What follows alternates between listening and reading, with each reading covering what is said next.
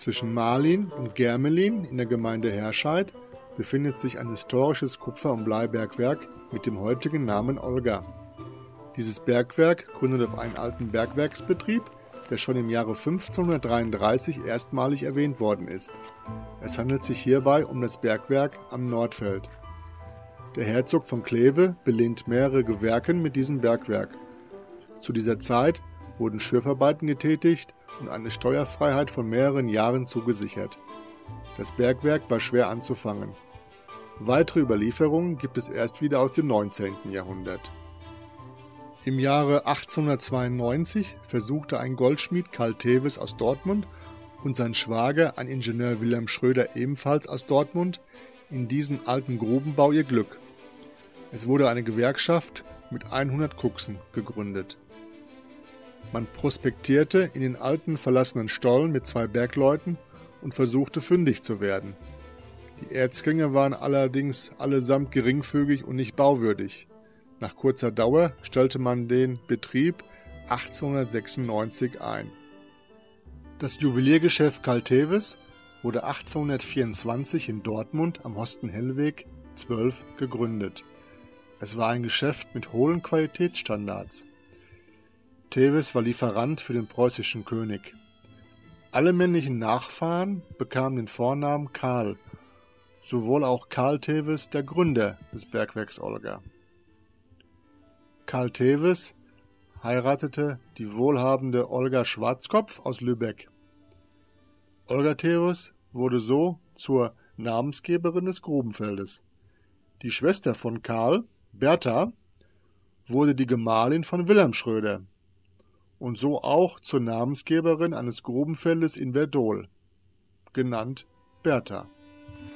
Wir werden uns nun auf eine Zeitreise begeben und uns den Grubenbau des Bergwerks Olga einmal anschauen.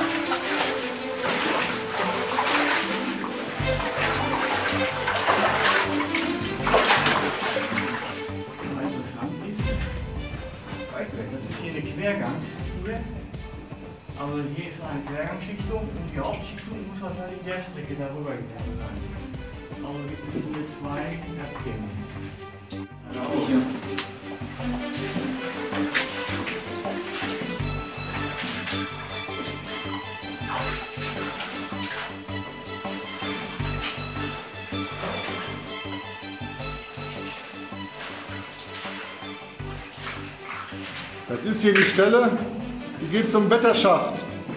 Michael, du müsst gleich rechts so ein kleines Wettertürchen kommen.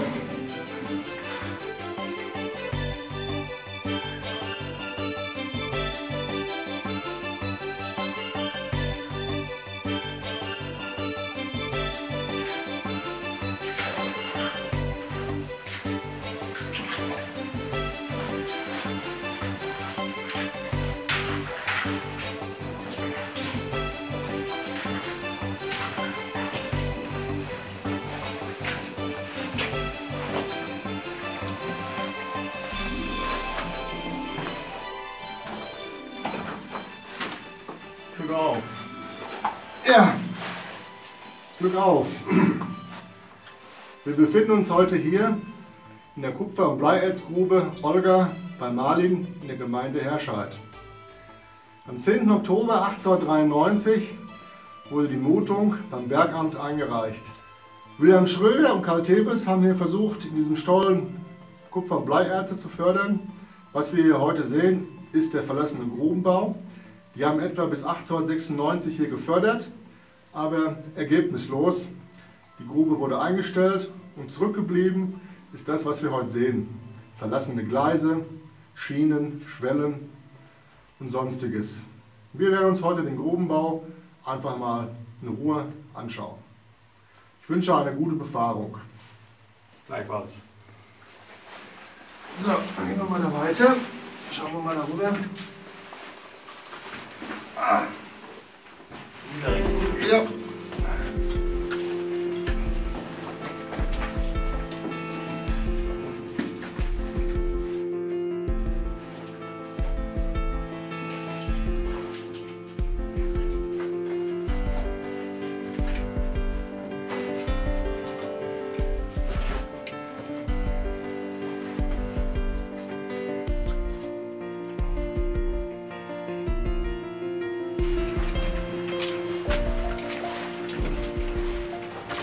guck mal, ein Stück Malachit.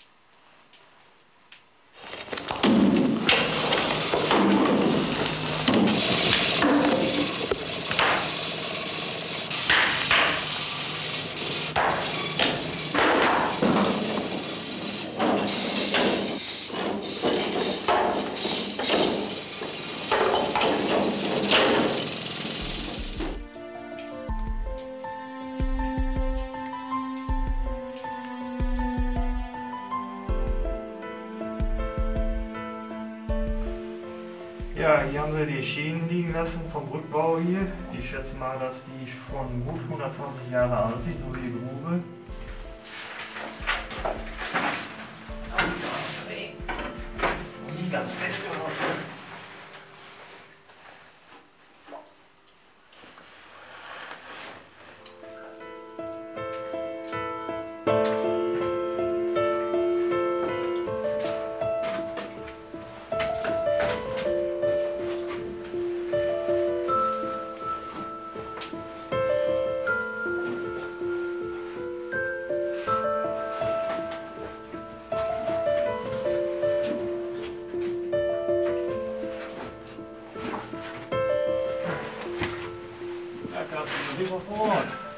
Erstkante hört wieder auf. Man kann hier zwar noch eine Mergelschicht sehen, die hier noch weiterläuft, aber es hat sich nicht mehr gelohnt. Ja, wir sind hier ups, an der Ortsbrust, am Ende der Grube Olga. Von hier aus ist es noch ein Katzensprung, sage ich jetzt mal, bis zur oberirdischen Verbindungsstraße zwischen Germelin und Marlin. Hier über uns äh, hat sie einmal ein Stück, ein äh, Schacht befunden. Der Hauptförderschacht an der Straße sollte hier mit dem Gang verbunden werden, mittels Gesenk. Man wollte die Förderung aufnehmen, aber wir sind hier in einem Bereich, wie Herr Hober schon sagt, hier ist keine Vererzungszone mehr. Und deswegen haben die hier an dieser Stelle das Grubengebäude aufgegeben. Ja, bis hierhin sind jetzt ungefähr 200 Meter bis zur Ortsbrust vom Stollen-Mundloch aus. Und mangels Erzvorkommen, wie wir hier sehen, wurde das ganze Vorhaben Olga ca. 1896, 97 eingestellt.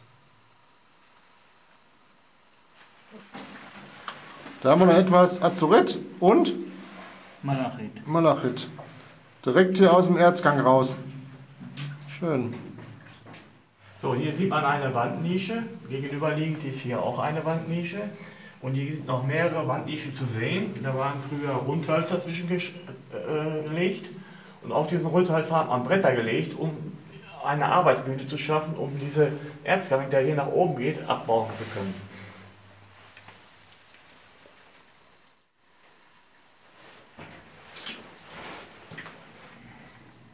Hier in der Firste kann man noch deutlich Überreste vom bergmännischen Schießen beobachten.